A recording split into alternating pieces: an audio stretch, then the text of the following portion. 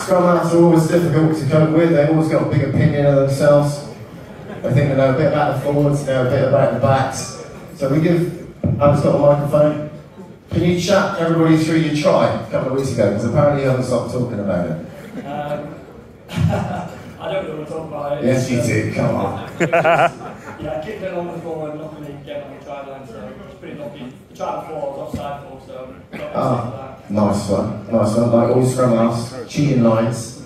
All good. Uh, Joe, uh, we got South Africa. How tough a proposition is South Africa right now? I think the world number one, world champions. We'll talk about how tough it's going to be up front. That's where you lived. Is it going to be as tough again for the boys this afternoon?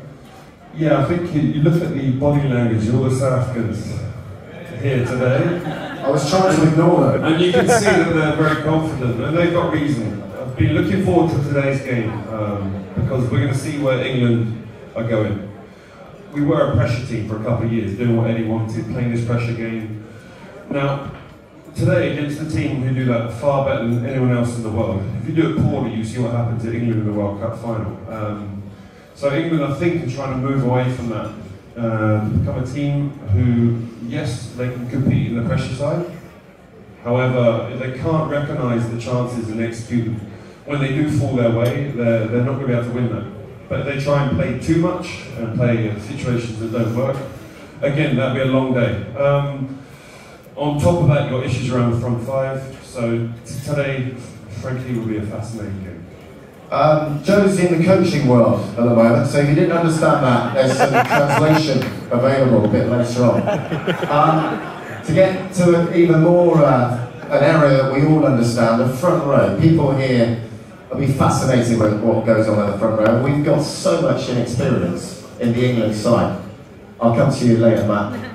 But uh, I think this will be Joe's field. Yeah, again, welcome to the front row is not.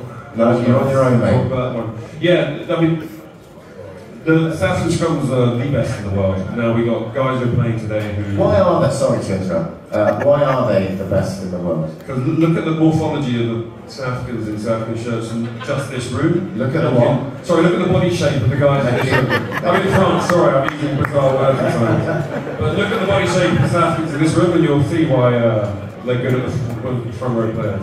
Um, so why? I know we're, we're so we're quite low in the front row in terms of numbers and, and availability. How do think these? how old were you when you made your first England appearance? 21. 21. So we've got a 21 year old and a 23 year old. It's not their first rodeo, but they're young and inexperienced. Do you think they'll be nervous? Will they just not be able to look uh, beyond running out and getting ready? Will they? They will, I, my view is they won't be thinking too much about what they're up against, the best in the world. They'll be raring to get out there and prove that they should be wearing that shirt all the time. Yeah, they certainly will be. The issue is the front row, there's a lot more technical aspects to learn.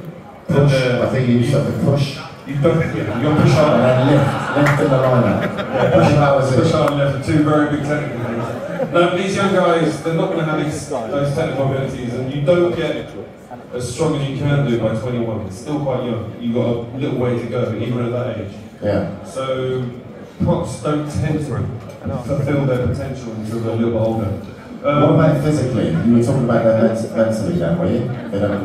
no, I think that's permanent. the mental side. Sorry, any prop forwards out there, I love you. I'm not going to fight with you.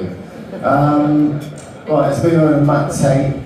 Uh, we've got another uh, change in midfield. So Tuilagi on the wing last week, I thought he was okay there. I thought he played okay. Now he's back at centre, what I think is, is his best position. And along Slade, how do you think they're going to go against Allende and Am? Who I think Am, Makanu Am, right now, is the best centre in the world. I just think he's awesome. He's got defence, he's got some subtle hands, he's good in attack. Uh, how do you think that competition is going to go today? And I, I agree with you, Joe. I think Manu's best position is back in that midfield. We saw Henry Slade actually in the backfield quite a lot. Was acting as a second fullback last week, so hopefully they'll be a little bit more settled. Um, on Joe's point, I think how, how open England will play will be largely dictated by the parity they get up front. Yeah. particularly in that second half when South Africa bring on that whole new front row. With have Marcus Smith at 10 alongside Slade and, and Tuilagi, there's only one way you can play. Um, I think the biggest issue, we saw a little bit in, the World Cup final, was just the South African pressure game with their defensive setup. And on your point, Macanio out at 13 is the best, arguably the best defensive 13 in the world at the moment. is so important that hinge event. Yeah. And you've got Mapimpi, you've got Kriel on the other wings, who are very, very good readers of the game. But I'm just really, I'm really excited to see the way Marcus Smith, how, that, how he does at Quins, working kind of in behind that front line, those balls over the top, looking to manipulate those wingers coming forward. What are you expecting from Marcus Smith today? I mean, I've seen him at Harlequins, they they play a totally different style, free and open, go for it, Marcus, you know what you can do, there you go. I can't imagine Eddie saying, Marcus, we brought you in to play like you do at Harlequins. Um, how tough is it going to be for Marcus to play some really sort of shrewd, smart rugby under some restraints, I would imagine? He's just he's a very confident guy. He's, and he's, he's a very shrewd operator. I think you know at Quins we see that open, expansive game, but that detracts a little bit from the way that he manages the game. I think will actually kick the ball more than any other team in the league. Yeah. Which just happens to be with their attacking kicks, Mhm. and I don't think anyone will discourage that. I think where he's going to be very busy today, and if I was Jacques Nienaber, I'd be sending Greg Newman down his channel, David de Allende down his channel, all day to try and tire him out to reduce the influence he have on the game Yeah. from an attacking point of view. Cool, cool. Ben, Ben Cohen, winger, World Cup winner. Um, I guess South Africa haven't changed the way they play.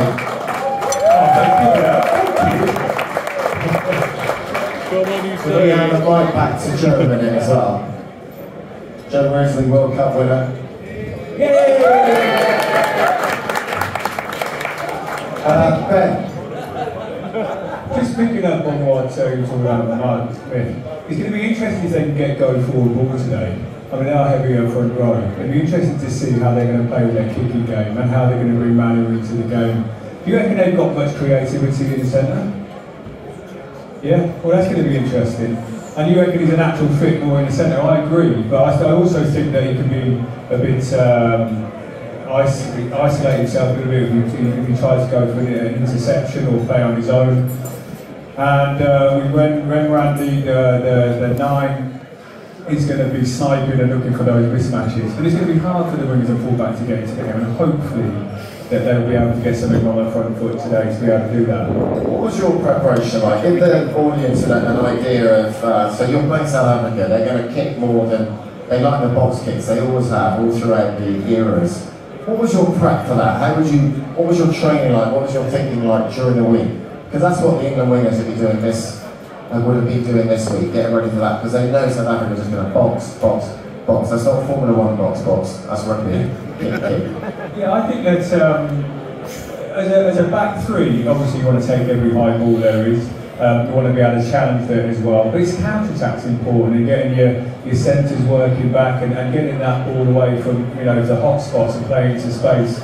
Um, I would imagine that's what well Merch does that at, at, um, at Quins.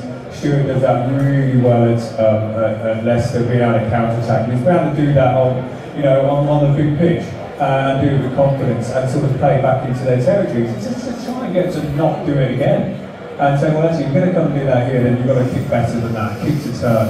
Um, and you see, that, that's why I said earlier on, it'd be really interesting to see how England's kicking game is going to go today.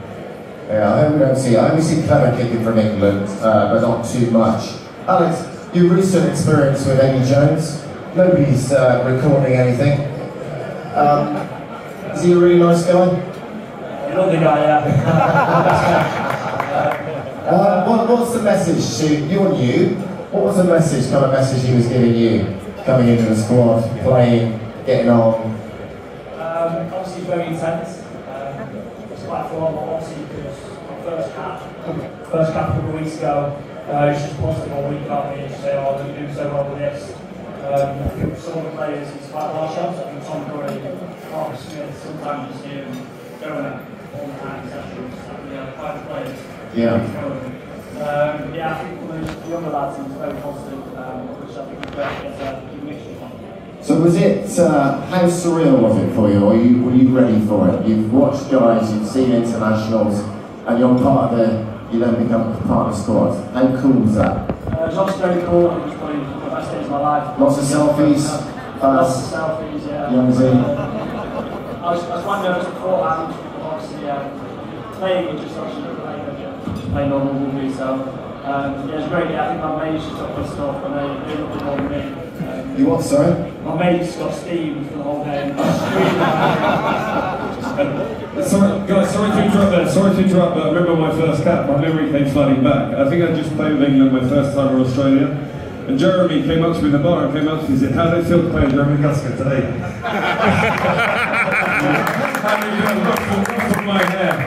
How was it? It was a special moment. Um, okay, uh, we- we've got Luke in the audience with a microphone.